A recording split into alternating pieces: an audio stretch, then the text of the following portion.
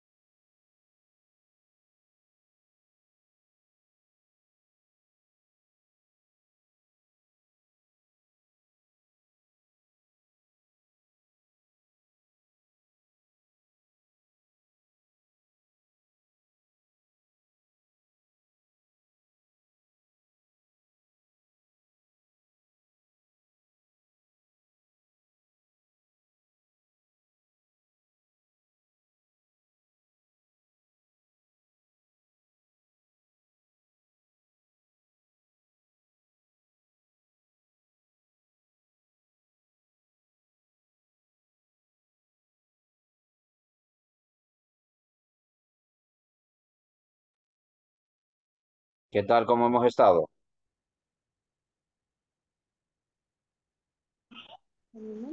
Buenas noches, bien, Buenas bien. noches. Buenas noches. Buenas ¿Usted noches. cómo está? Bien, bien. Ya esperando la vacación. Ustedes también van a descansar. Bueno, Qué galán. Uno solo trabajando, profe. Se supone. Yo no, no tendrán vacaciones, no. Poquitas, no lo mismo. mínimo. En el caso de Claudia creo que es cuando hay más movimiento. Sí, de hecho toda esta semana ha estado, gracias a Dios, porque hay trabajo. Porque cuando estoy aquí en casa me, me preocupo. Excelente, me alegra, me alegra. Gracias a Dios que tenemos bajito. Y lo principal que nos divierte lo que hacemos. Nos gusta. Exacto. Si hay diversión en lo que hacemos, pues qué bueno.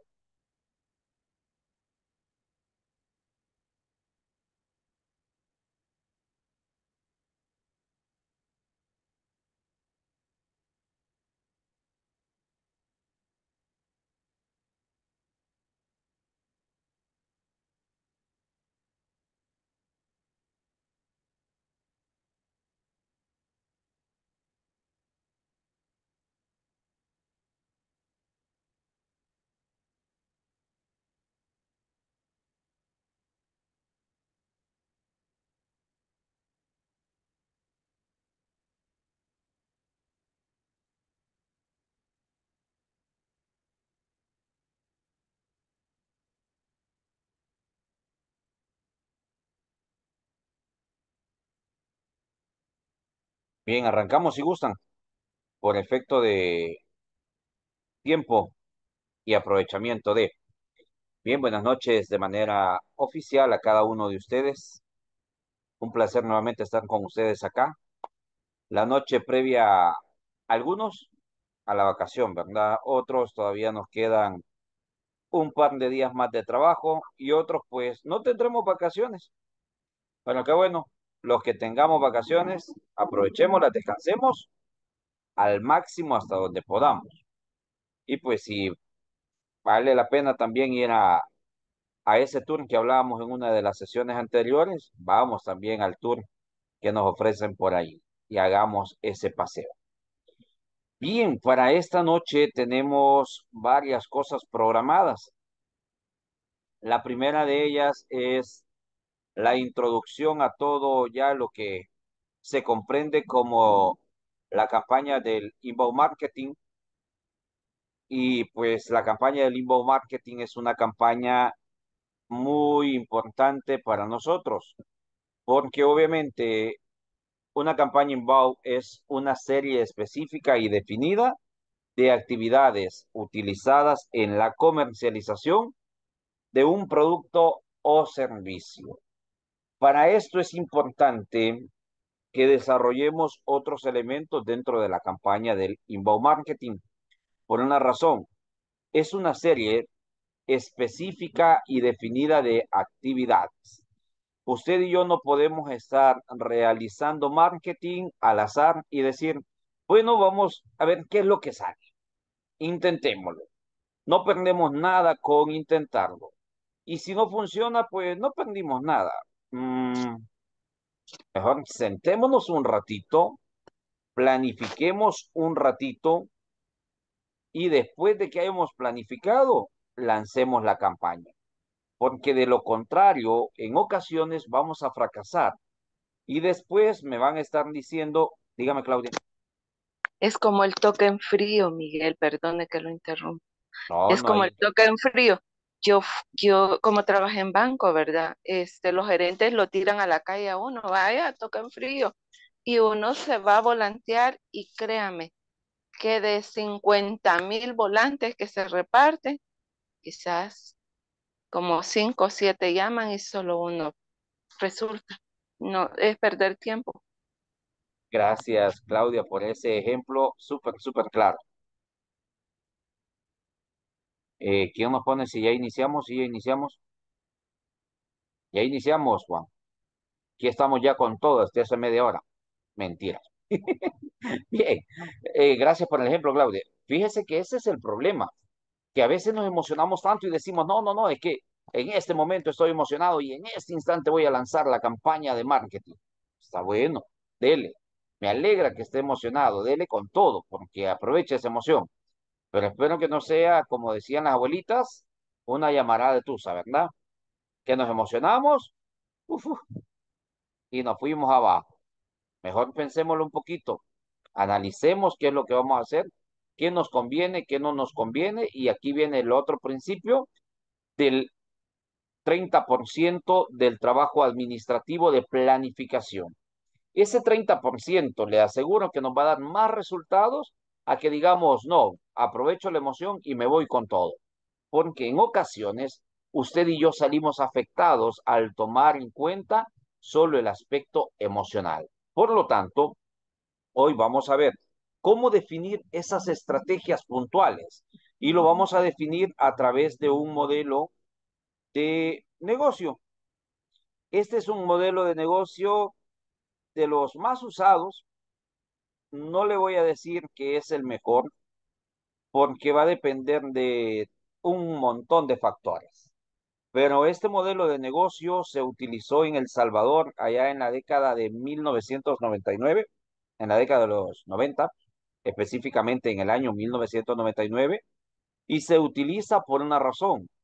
Viene a El Salvador a través de una universidad, bueno, es una escuela superior de educación, y pues viene y traen el modelo de planes de negocio a El Salvador. Y cuando traen el modelo de planes de negocio, obviamente venía con el enfoque tal cual de desarrollar planes de negocio. Recuerde que El Salvador había estado en un proceso de guerra, clase de historia también aquí incluida, adicional al marketing digital, ¿ok? Había estado en un proceso de guerra y se habían firmado los acuerdos de paz. ¿Qué fecha? Exacto, es esa fecha. El 16 de enero de 1900, exacto, 92. Usted sabe bastante de historia. Entonces, en ese momento que se firma todo esto, obviamente había que reconstruir el país. Y como había que reconstruir el país, dicen, no, apuntémosle al emprendimiento, apuntémosle a esto, que por medio del emprendimiento el país va a volver a resurgir y va a hacer la diferencia. Entonces, esta universidad, bueno, esta escuela eh, superior de economía, empieza a hacer todo el montaje para traer a especialistas al Salvador para que pudieran capacitar. Entre los especialistas que trajeron venían las empresas de Nefti y Tecnocer, y eran dos empresas americanas con un plan de negocio muy, muy bueno. Algunos dijeron que el plan de negocio americano era un poquito más elevado a relación del país, entonces decidieron adoptar el plan de negocio bajo el modelo Canvas. Si usted me dice, Miguel, ¿ese es el mejor? No, yo he visto planes de negocio muchísimo mejores. Hay libros completos de planes de negocio o plan de marketing, que algunos así se titulan. Yo le diría, si tiene la oportunidad de leerlos, hágalo, léalos y sería lo ideal. Hoy, en cuestión de los minutos que tengo, voy a intentar enseñarle a hacer un plan de negocio para que usted lo pueda presentar perfectamente a cualquier lugar y obvio, no, a, no lo voy a enseñar a profundidad. No le voy a enseñar lo que se da en una capacitación de seis meses, ocho horas, por lo menos tres veces por semana, en cuestión de 50 minutos. Bien difícil que lo haga, pero sí voy a tratar de dejar todo claro hasta donde podamos. Si usted necesita interrumpirme, hágalo en frío, así, de una sola vez, dígame, Miguel, esta pregunta tengo, porque obviamente voy a estar emocionado hablando y la emoción va a provocar que a veces pierda el sentido de lo que estamos haciendo en la participación de levantar la mano. Así es que si me quiere interrumpir, hágalo con mucho gusto. Eh, le voy a mandar estos elementos, bueno, estas imágenes, la primera es tal cual el segmento de mercado, se la voy a mandar así en blanco porque pues, obviamente necesito que usted haga su plan de negocio bajo el modelo Canvas. Le voy a mandar esto que es la descripción de cada uno de los procesos porque ustedes están estudiando inglés también, entonces se lo voy a mandar en inglés para que lo tenga por ahí también en inglés, ¿verdad? Y se lo voy a mandar en dibujito para que nosotros los que nos encantan los dibujitos y aprendemos más a través de dibujitos, lo tengamos también. Se los enviaré de todas las maneras habidas y por haber. El primer punto, hago la aclaración, el orden del factor no altera el producto. Se propone este diseño por una razón, porque el corazón de esto es acá.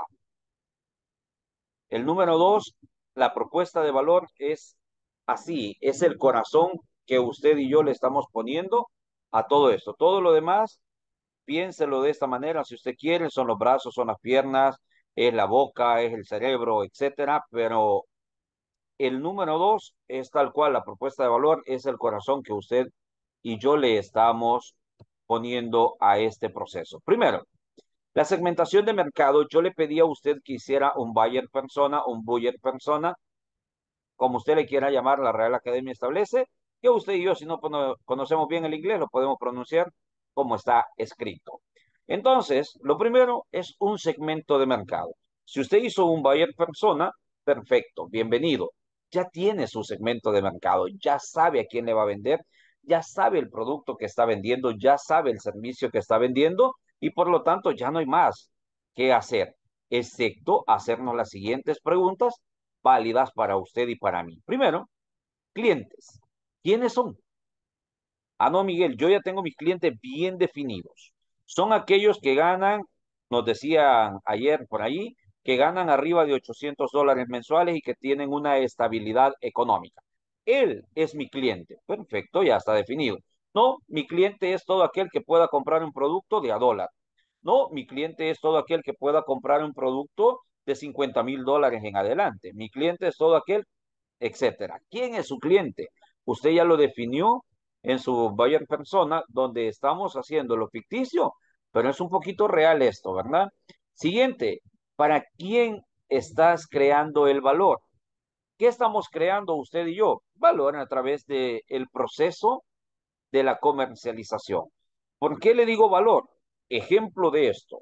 Yo le puedo decir, esto en un tiempo de la historia se vendía cuánto y ahora cuánto vale. Hoy andan dando los frascos de alcohol gel a una cora. Cuando usted y yo compramos esto a un precio altísimo. ¿Por qué? Porque obviamente es oferta-demanda en ese momento. Entonces, ¿para quién estamos creando esta propuesta de valor? ¿Para quién o qué estamos creando diferente? Entonces, es ahí donde viene el elemento y decimos, ok, yo necesito 100% saber qué es lo que hace diferente mi producto para que mis clientes digan, yo voy y le compro a Miguel. Agruparlos por segmentos. Aquí viene otro punto. Si usted me dice, Miguel, en el caso de nosotros, tenemos ya el segmento de básico, intermedio y premium. Ejemplo. Claudia, si yo no estoy mal, usted vende casas desde qué precio? Para no equivocarme. 50 mil hasta sin, sin tope. hasta que el cliente aguante. Va, gracias. Sí.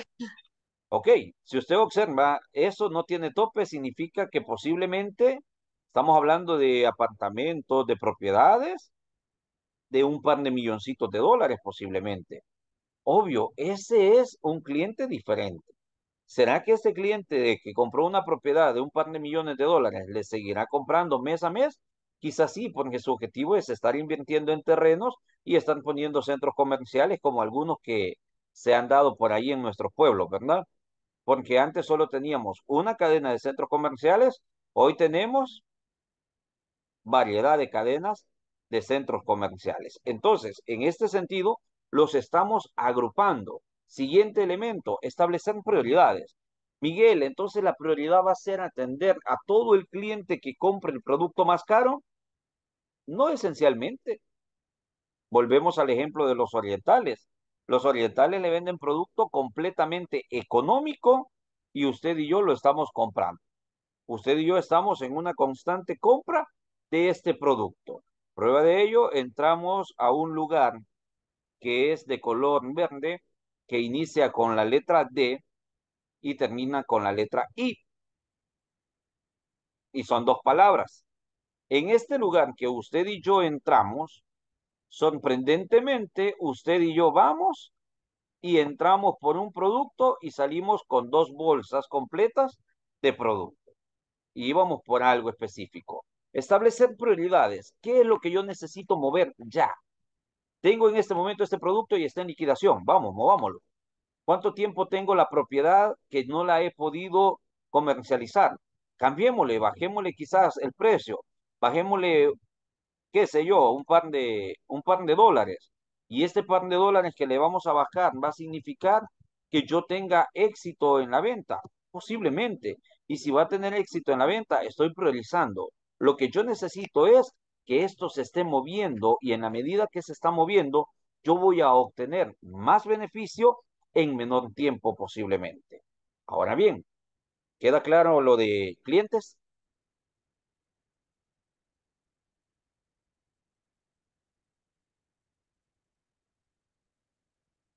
Ok. Si no Por el momento creo que sí. Va, asumo que sí entonces. Segundo, propuesta de valor. La propuesta de valor única para cada segmento. Ya dijimos, el básico, el intermedio y el primo. ¿Cuál es la propuesta de valor única? ¿Qué me está proponiendo usted? Ah, no, pero es que el producto que Miguel está comprando es calzado de 20 dólares. O sea, el calzado de 20 dólares, pues no pida mayor cosa. No, en el calzado de 20 dólares usted me puede ofrecer algo diferente.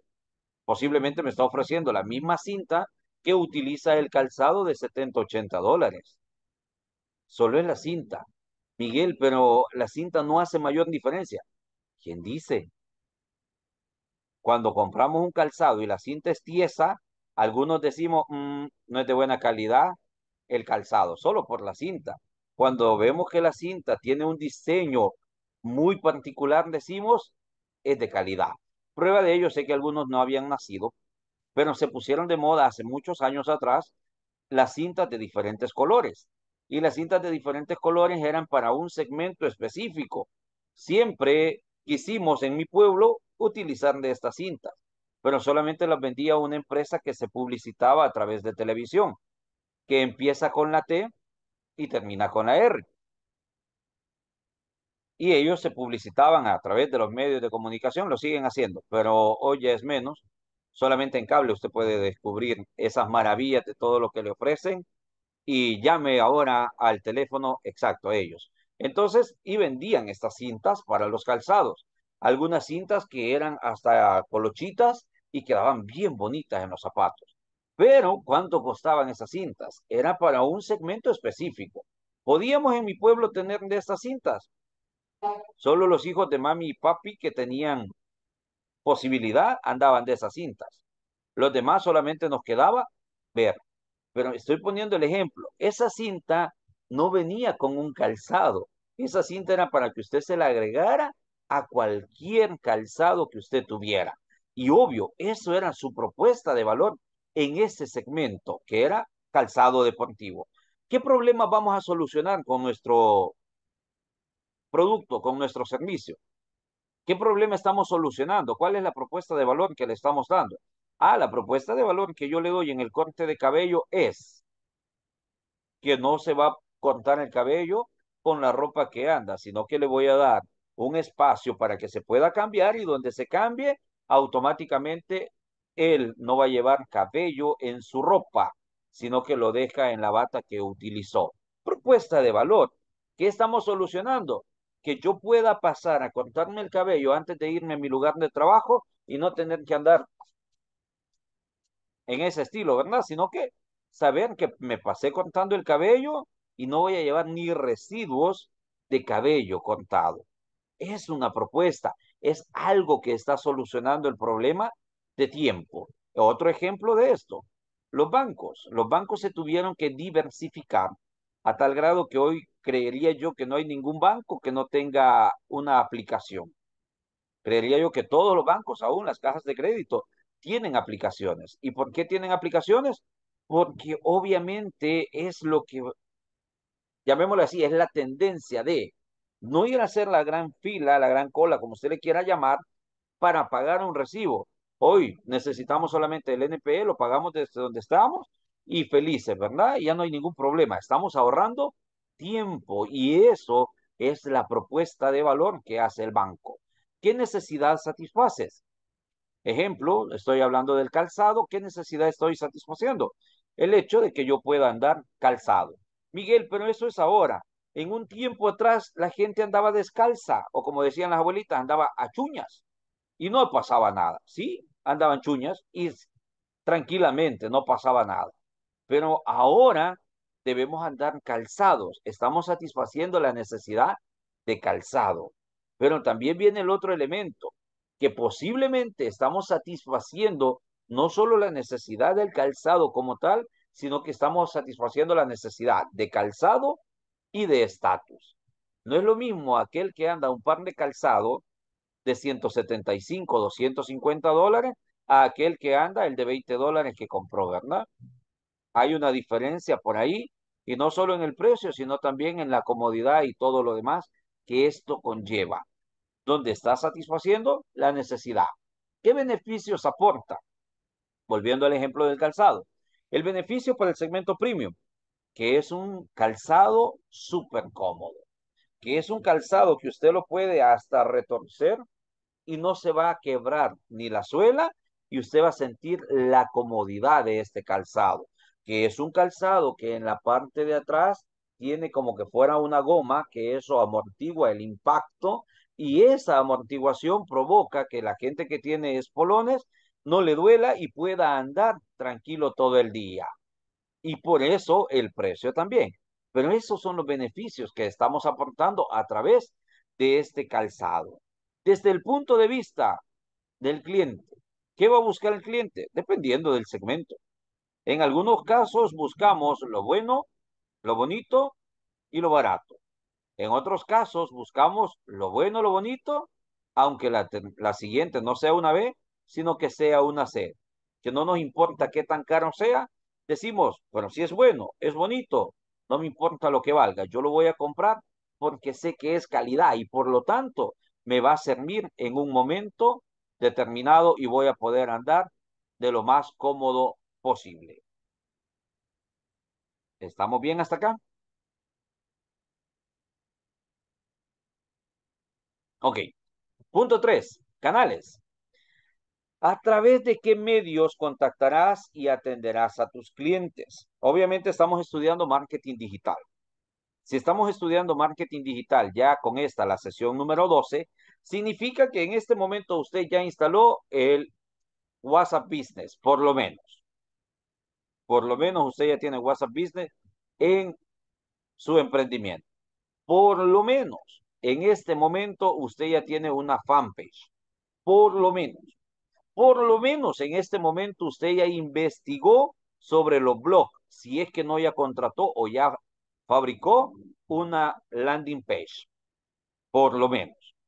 Sesión 12, 12 días, 3 semanas, eso significa que usted y yo ya nos vamos adelantando y somos proactivos y por lo tanto ya estamos diciendo, no, mire, todos los medios que usted quiera. Hoy quise comprar un producto en línea y no lo compré por una sencilla razón. Le costó a la persona decirme, Miguel, el costo del envío es de tanto. Se lo mando con un Uber, se lo mando con un mensajero, se lo mando con quien sea. Y si hubieran agregado X precio, yo le puedo asegurar que no me hubiera complicado la vida y lo hubiéramos comprado.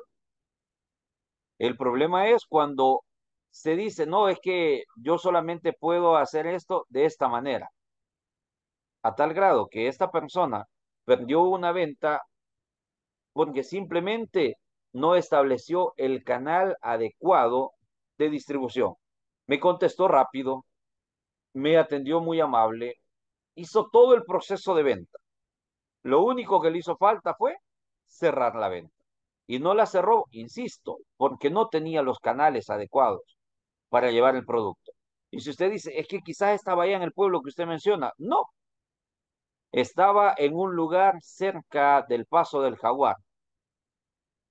No sé si usted lo siente extraviado o lo siente céntrico. ¿Cuánto podía cobrar un mensajero para llevarme un producto? Pongámosle desde Santa Tecla hasta ahí. Creo que no eran ni cinco dólares lo que me iba a cobrar. Y podía hacer el negocio y simplemente el costo iba a ir por mi cuenta. Solo le tenía que decir a él, no se preocupe, yo se lo envío de esta manera. Pero lastimosamente no había la forma. Siguiente, en otro momento hubiera dicho, ya acabo de decir la propuesta de valor de los bancos, hágame una transferencia, Miguel, y después de la transferencia yo le hago llegar el producto. También era otra alternativa.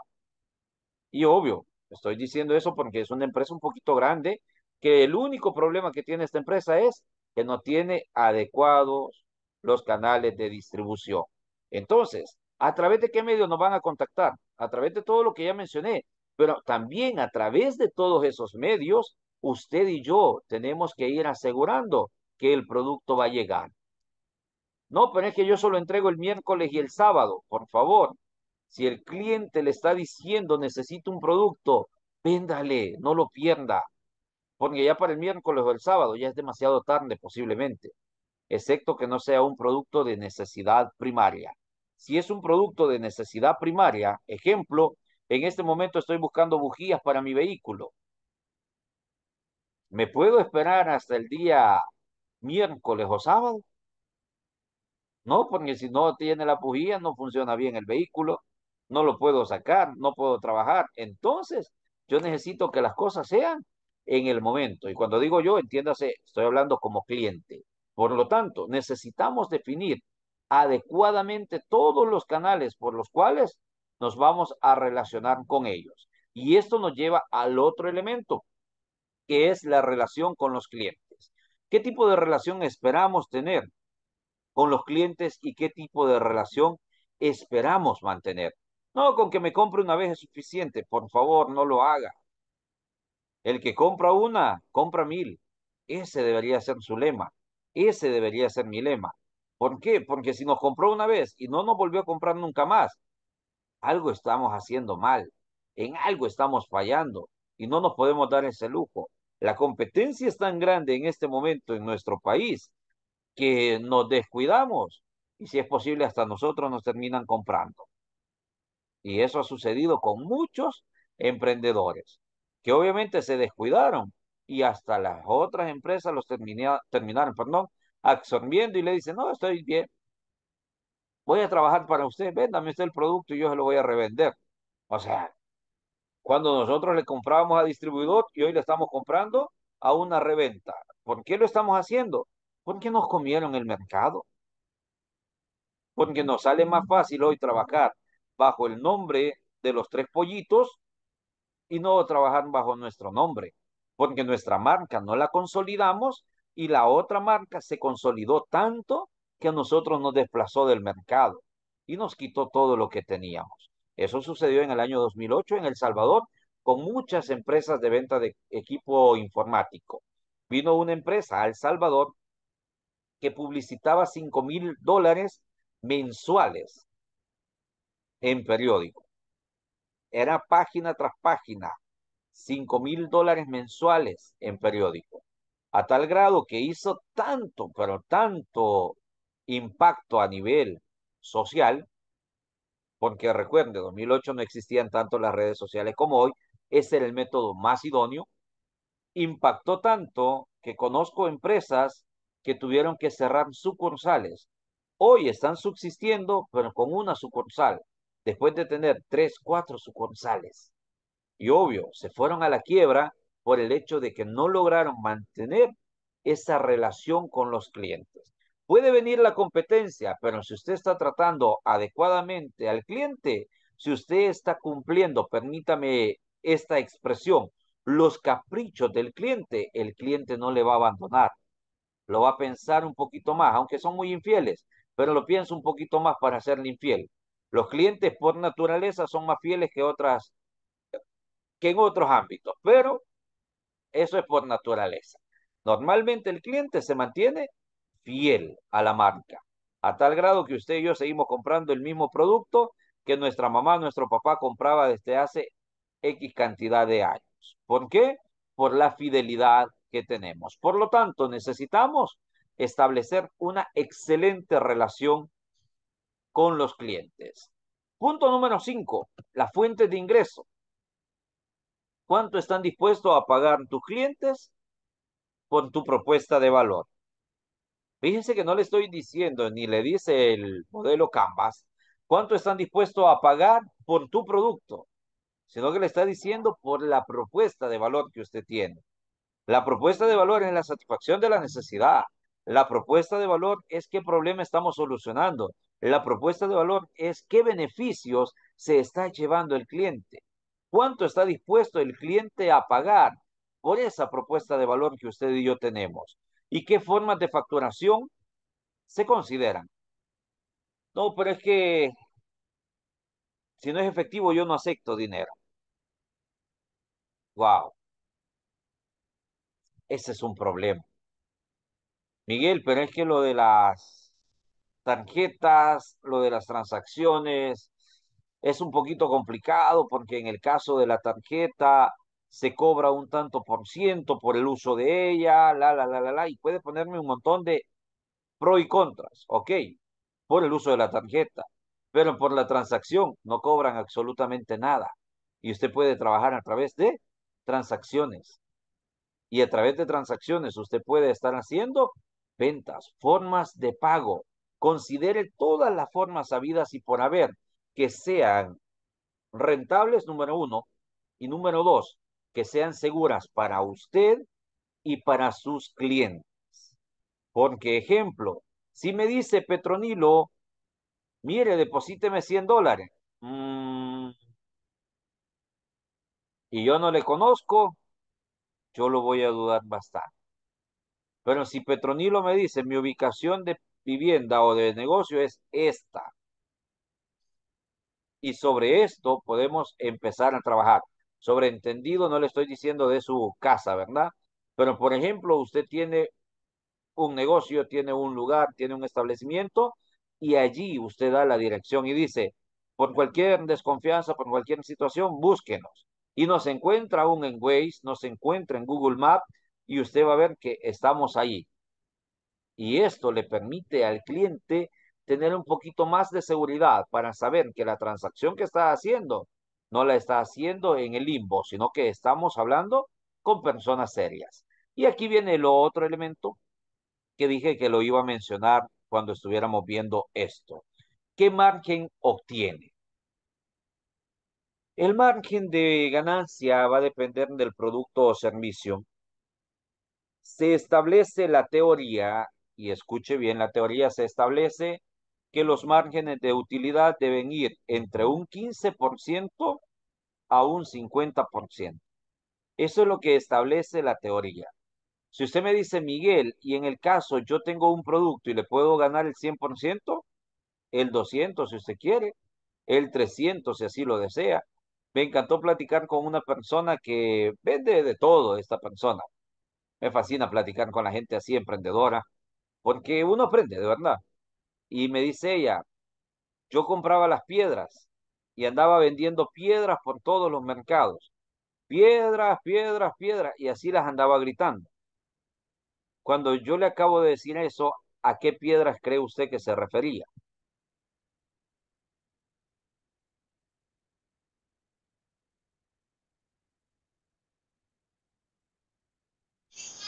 A las piedras del mar. Gracias, Miriam. Exactamente eso mismo pensé yo. A piedras del mar pintadas y todo. Pero me sorprendió y me dice, no, no vendía piedras. ¿Sabe? Bueno, sí, se llaman piedras, pero son las piedras como las que se conocen como piedras pomas, pero son como sintéticas, algo así. Y me dice, y es para hacer todo el pedicure exfoliación de pies, restauración de los pies, etcétera. Y me dijo ella, yo las compraba a un precio y las vendía tres, cuatro veces más de lo que yo las compraba. Y yo andaba gritando piedras, piedras, piedras, piedras por todos los mercados. Y la gente decía, está loca. Pero yo decía, yo sé cuánto gano con cada piedra que ando vendiendo. Eso es lo que usted y yo necesitamos. Saber cuánto es nuestro margen de ganancia. Miguel, ¿cómo sé cuál es mi margen de ganancia? Ok. Establezca, por favor, con lujo de detalle todo, todo, todo, todo, todo, todo, todo, todo. Cuando le digo todo, hasta el fresco que se tomó el día que fue a traer el producto. Miguel, hasta eso, es que eso es alimento. No, eso es un gasto que se le debe agregar al producto. Porque ya no se convierte en un gasto, sino que se invierte, se convierte, perdón, en una inversión. Miguel, pero es que fuimos a desayunar, ok. Si el desayuno fue modesto, pues agréguelo. Si el desayuno fue de lujo, ahí es otra historia, ¿verdad? Bueno, si el desayuno fue, ah, es que pasamos comprando un par de pupusitas y todo porque llevábamos prisa y no nos podíamos ir. Con hambre, excelente. Agreguemos esos X cantidad de dólares allí a lo que hemos comprado. El producto lo compró, pongamos un ejemplo, a un dólar. Pero para ir a traer ese producto de un dólar, gastó pasaje o gasolina, como usted lo desee, gastó pasaje, gastó gasolina, gastó Uber, lo que sea. Gastó en todo esto de desplazamiento.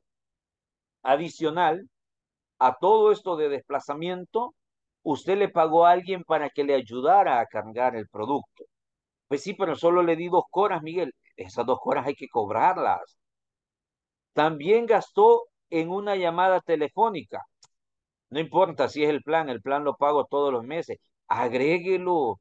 O del árbol sale el dinero, cae del cielo, no sé. Si le cae del cielo el dinero para pagar el plan, no lo agregue. Diga, bienvenido el dinero y pues solo vaya a pagar. Pero de lo contrario, si estamos utilizando nuestro dispositivo, estamos pagando redes, estamos pagando un plan, lo que usted esté pagando, por favor, agregue todo, pero cuando le digo todo es desde lo más pequeño hasta lo más grande. Miguel, yo engrapo siempre una viñeta cuando mando un producto, ok, hasta las grapas agregue. No, no sea tan exagerado, Miguel, o sea, es una grapa y compro la caja, trae cinco mil y la caja me cuesta tanto. Ah, ok, ya dijo que le cuesta cuánto la caja. Entonces, esa grapa abona o esa grapa afecta.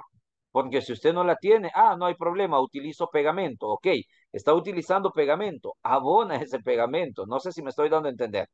Por mínimo que parezca, por favor, agréguelo todo, todo, todo, todo lo que pueda agregar. Y después de haber agregado todo eso, dice, ok, el producto me costó un dólar. Pero obvio, no vamos a ir por un solo producto, ¿verdad? Excepto que fuera más grande. Pero el producto me costó un dólar. Yo compré 100. En su caso, Glenda, de mano de obra es cuánto cuesta su hora de trabajo. ¿Cuánto le pone en precio de hora de trabajo? Todos los materiales más el tiempo en hora. Por ejemplo, si usted me dice, Miguel, ¿cuánto calcularía usted la hora de trabajo? Como mínimo, calcúlela bajo el salario mínimo. Eso sería lo mínimo.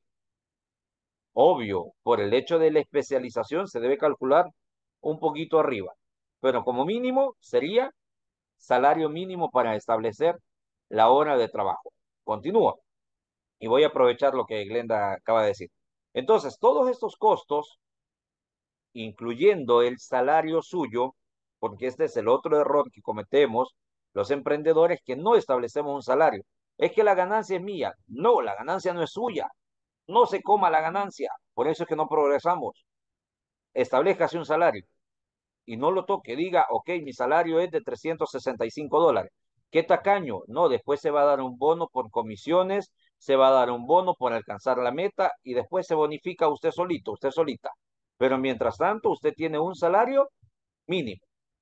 Y con ese salario mínimo, obviamente usted se lo agrega. Por ejemplo, en este caso fueron 100 dólares, más todo lo que ya mencioné adicional, usted gastó 125 dólares, más el día de trabajo, que vale cuánto si fuera un salario mínimo, serían 365 entre 30, ayúdenme por favor. Gracias, exactamente, a 12 dólares y fracción. Esos 12 dólares, agrégueselo, ya no son 125, son 137 dólares. Ahora sí, esos 137 dólares, si usted vendiera el producto sin ganarle nada, ¿a cuánto lo tendría que dar? Lo tendría que dar a 1.37 cada producto, sin ganar ni un 5, excepto su salario. Bueno, para trabajar solo por el salario de 12 dólares creo que no vale la pena, ¿verdad? Sino que aquí viene el punto de cuánto le vamos a ganar. Y ahí usted puede decir, yo estoy dispuesto a ganarle por el producto, sé que le puedo ganar hasta un 50%.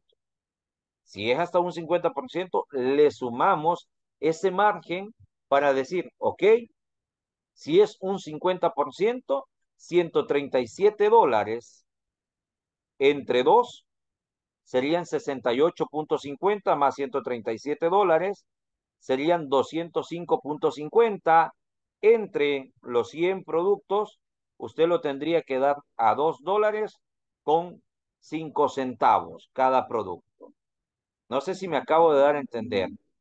De 1.37 pasó a 2 dólares con 5 centavos y le estoy ganando el 50% y así sucesivamente lo podemos ir haciendo el margen de utilidad. Obvio, queda grabado el video para que usted lo pueda repetir las veces que considere necesario y espero haberme dado a entender en la explicación que acabo de hacer. Siguiente elemento. Ya es el número 6. El número 6, ¿con qué recursos cuenta usted y yo? Recursos clave, que requiere mi modelo. Primer recurso clave, cuento con un vehículo. ¿Es necesario, es indispensable un vehículo? Sí y no. Me dijo alguien en un momento, Miguel, te sale más barato que alquiles el vehículo y no que lo tengas. En mi lógica de cerebro, yo dije, ah, ah, estamos mal. Y me dijo esta persona, si lo alquilaras como que lo estuvieras utilizando para Uber, te va a costar entre 10 a 15 dólares diarios. Lo alquilas un día, dos días, tres días, etcétera, lo que lo vayas a usar. Lo alquilas. Por 30 dólares podés hacer todo lo que querrás en tres días. Obvio, solo el gasto de gasolina. Pero te evitas el mantenimiento de cambio de aceite, el mantenimiento de pastillas de freno, el mantenimiento de las llantas, el mantenimiento, y me empezó a hacer cuentas y me dijo, en ese sentido, conviene más alquilar un vehículo. Ahí yo le hallé la lógica y dice, tiene razón. Pero si yo ya tengo el vehículo, pues el vehículo es mi pieza clave. El vehículo va a ser algo o un recurso fundamental para mí. El vehículo es ese recurso que yo necesito para poder hacer las cosas. Siguiente. Por ejemplo, en su momento yo me dediqué a la fabricación de libros educativos y necesitábamos una engrapadora industrial. Lo triste es que a nivel de país se habían acabado las engrapadoras industriales y se nos dañó la engrapadora. Eso es otro recurso clave. Para mí era indispensable ese recurso, porque si no solamente pegábamos los libros y no podíamos entregar un libro de calidad, porque a los dos, tres días se iba a despegar, por más resistente que fuera, excepto que hubiera sido pegamento industrial. Y cuando le digo industrial, es un pegamento especial que solamente se puede derretir a un calor de aproximadamente 70 grados centígrados. Por lo tanto, ahí vemos otro elemento de un recurso clave. En este caso, el recurso clave, por favor, valore todo lo que usted tiene. Si usted me dice, Miguel, como recurso clave para mí sería el maniquí que tengo donde cuelgo la ropa y le tomo la fotografía, exacto, ese es su recurso clave. Miguel, para mí un recurso clave sería un gancho. Sí, ese es su recurso clave. Miguel, para mí el recurso clave serían los moldes donde hago los pasteles. Sí, son indispensables esos moldes, porque si no los tiene, ¿cómo hace pasteles? Entonces, todos esos elementos son claves para usted y para mí. Actividades clave o necesarias, por ejemplo, para la producción, distribución y publicidad. La actividad clave en el elemento de producción. Ejemplo, ¿puedo hacer un pastel sin crema pastelera?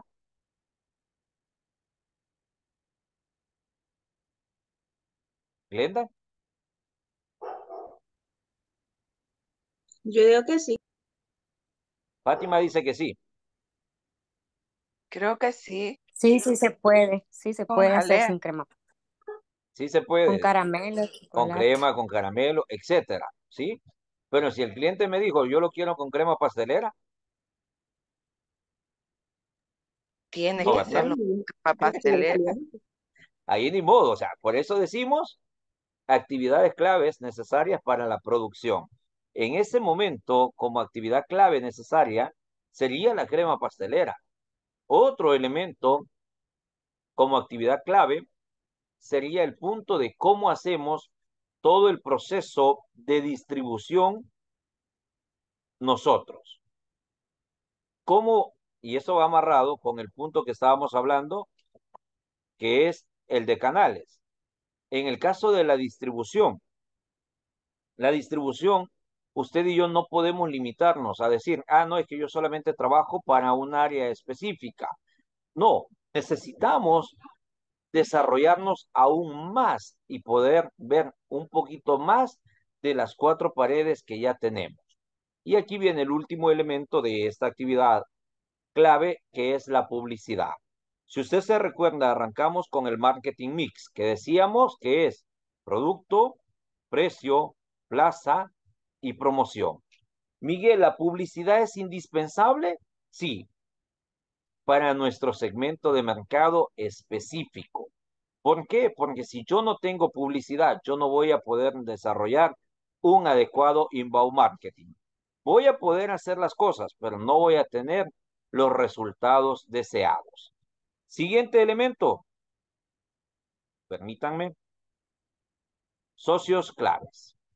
En el de socios claves, tiene que ver qué puede hacer distinto los colaboradores que tú o con un costo menor y por lo tanto enriquecer tu modelo de negocio. Me encantó, veía una entrevista que le decían a Henry Ford. Cuando le decían a Henry Ford, pero usted qué estudios tiene, si usted no sabe ni esto, usted no sabe lo otro, y empezaban a cuestionar de cómo es que él había creado un vehículo. Y dijo él, usted cree que es un proceso simple, pero una persona que no ha estudiado como yo logró crear un vehículo. Si usted cree que es fácil, tráigame a cualquiera de los ingenieros y que cree un vehículo como el que yo he creado. Y después hacía el comentario Henry Ford, lo que no sabe es que yo me he rodeado de todos los mejores especialistas que hay en ingeniería para poder crear este vehículo. Usted y yo nos debemos rodear de toda la gente que hace las cosas de mejor manera, en menos tiempo y por lo tanto nos ayuda, escúcheme bien, nos ayuda a desarrollarnos de manera más rápida. Socios claves. Si hay alguien que me trae el producto hasta mi casa, es mi socio clave. Me voy a aprovechar de esa alianza que tengo con él. Él gana, yo gano y todos juntos somos felices. Ejemplo de esto, se cuenta una historia donde se dice que había una persona que empezó a viajar al pueblo más cercano y en el pueblo más cercano iba a traer un martillo porque no había martillo en el pueblo, a tal grado que él utilizaba el martillo. Llegaba el vecino y le decía, vecino, ¿me puede prestar su martillo? No, no se lo puedo prestar. se lo puedo alquilar, alquíleme entonces el martillo. Se lo alquilaba, después le decía, vecino, ¿por qué no me lo vende mejor? Con gusto se lo vende, pero el precio sería de tanto porque son dos días de viaje hasta el pueblo. Y lo vendía. Después aprendió que podía estar trayendo producto desde el pueblo más cercano hasta ahí y poner su propia ferretería, a tal grado que después la ferretería del pueblo le llevaba todo el producto a él y él solamente se había dedicado a comercializarlo. Socios claves, los necesitamos. Por favor, no crea que usted es una isla y que no necesita de los demás. Y por último, los costos. Ya lo hablé en el factor de ingresos y aquí se profundiza más. Defina la estructura de los costos de tu modelo de negocio, cómo puedes minimizarlos para contribuir, construir, perdón, un modelo de negocio más rentable. ¿Cómo lo puedo minimizar? No yendo a comprarlo yo, porque si yo lo voy a comprar, siempre me voy a echar esa sopita al almuerzo. Siempre voy a ir y voy a tomarme la soda en el almuerzo. Y ahí se me están disparando los costos porque no voy solo, sino que me llevo a la comadre, al compadre y le invito, porque pues sí, ¿para qué? Pues si anda conmigo hay que invitarle al desayuno y al almuerzo. Si esto me está provocando que mis costos estén yendo arriba, mejor busco el método o la manera de que me lleven el producto hasta mi casa y no me desplazo, porque obvio eso me va a afectar posiblemente. Allí es donde vemos toda la importancia de reducir al máximo los costos para que obtengamos mejores beneficios.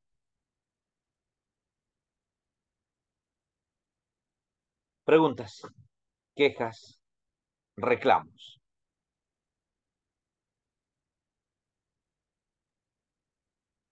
Miguel tiene toda la razón en, en Siempre uno debe buscar, bueno, en mi caso son colegas, socios, Este, cuando uno quiere vender una propiedad, bueno, hay eh, que está bien ubicada y todo, hay bastante, uno puede ver en el, cuando la publica, cuánta gente está interesada, ¿verdad?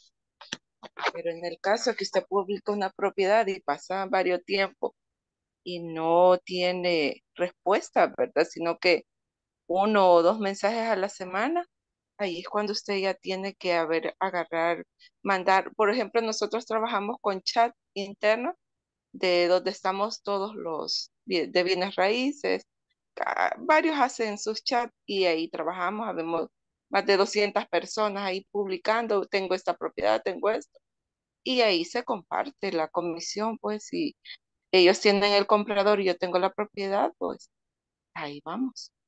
Una estrategia, porque si no, ahí queda por un montón de tiempo. Excelente, 201, por favor. Entonces, no, de verdad. Bien. Entonces, otro comentario, queja, reclamo. Me gustó, Claudia, gracias, gracias por compartir. A él le dio risa. Ajá. Yo, Miguel, en, el caso del, del, de la librería, en una competencia, que esa competencia cobra, pero rebaratísimo, las copias, las impresiones, pero bueno, como el modelo de negocio, él, él, solo trabaja, el local es un local viejo, barato, pero como solo es él, no aguanta estar todo el día sacando los trabajos. Y la, y, la gente no necesita solo por la mañana. Nosotros en el caso vendemos el servicio todo el tiempo, pero en, mis costos va local, porque mi local, gracias a Dios, nunca me han robado. Está bien ubicado también. Estamos cerca, ¿verdad? Del otro local, pero atendemos hasta la tarde, abrimos bien temprano. Entonces, es el modelo de negocio, aunque demos más caro, pero vendemos un servicio. Tenemos los proveedores que nos llegan a dejar ahí el producto y por tanto nos ahorramos de los viajes también. Eh, sí, eh, me ha servido mucho el modelo Canvas cuando lo he puesto yo en práctica. Ese es mi comentario. Buenas noches. Gracias, mire, muy amable. Gracias, gracias. Bien, ¿alguien más que nos quiera comentar? Sí, este, yo quisiera comentar un, caso que tuvimos. Bueno, lo tenemos. Em, vaya, eh, como les comenté, es, eh, mi emprendimiento es de tecnología y sobre todo es de servicio, consultoría. Pero eh, hicimos una alianza con una empresa que ellos tienen más, más tiempo en el mercado y tienen recursos, tienen personal, mano de obra. Entonces, eh, se puede dar que en el caso de nosotros mm, pueda surgir un proyecto en el que se tenga que eh, configurar equipos y todo eso. Pero a la vez también hay, hay necesidad de utilizar mano de obra para instalaciones como cableado estructurado, eh, cámaras de videovigilancia. Entonces, nosotros no contamos con tanto personal. Y este, lo que hicimos fue, uh, creamos una, una alianza, hicimos un, un tipo de contrato entre ambas empresas para que cuando se necesitara ellos de parte de, digamos que ellos tuvieran un proyecto y necesitaran una consultoría de parte nuestra, pues nosotros nos poníamos las camisetas de ellos en, en representación y viceversa. Claro, esto lo hicimos eh, bajo un contrato para que este, pues, mantuviéramos esa eh, fidelidad entre ambas empresas y no, no poner en riesgo pues también el, el, el, nombre, ¿verdad? De cada una de las, de, los emprendimientos. Entonces, eh, sí, esa fue una estrategia, digámoslo así. Eh, no sé si, si se, podría llamar como un partner. Es un partner y es un socio clave. muy buena. Sí, muy, muy buena. Bien, por cuestión de tiempo, Solo dejo la tarea, hacer el modelo Canvas para su emprendimiento. No le digo que la haga mañana porque ya mañana está de vacaciones, así es que hágala hoy. Todavía no sale de vacaciones. Recuerde que vamos con el laboratorio 3 también, que se debe finalizar esta semana, antes de salir de vacaciones.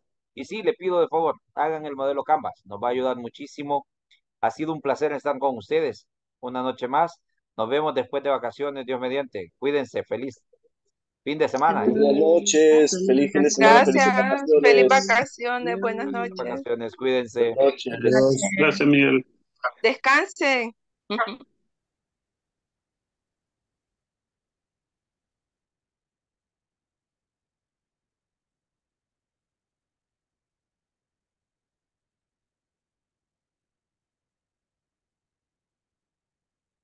Gracias, feliz noche.